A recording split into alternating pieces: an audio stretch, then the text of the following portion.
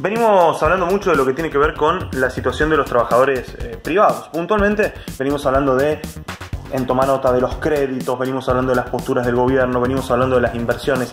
Ahora, hay algo de lo que hemos hablado poco y es el sueldo de los estatales, lo hemos mencionado alguna vez, pero vamos a ingresar al quinto mes del año, estamos ingresando, transcurriendo ya el mes de mayo, y en este mes de mayo los empleados públicos de La Rioja ya llevan dos meses sin ningún tipo de modificación salarial.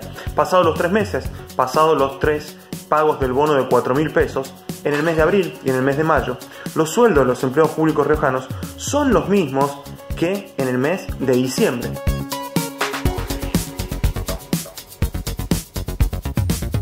Por estos días se va a conocer el dato de la inflación correspondiente al mes de abril.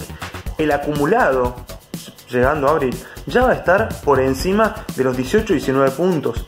Es decir, la pérdida de poder adquisitivo de los trabajadores estatales durante esta pandemia ha sido tremendo, porque cuando uno compara su sueldo del mes de diciembre con lo que va a ser su sueldo en el mes de mayo y toma en cuenta la inflación, el dato es concreto y es contundente.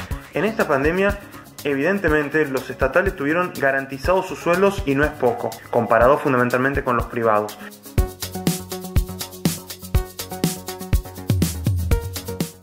Pero al mismo tiempo han perdido muchísima, muchísima capacidad de poder adquisitivo, de la mano de la inflación y de los aumentos salariales que en este 2020 por ahora el gobierno de la provincia no está pudiendo concretar.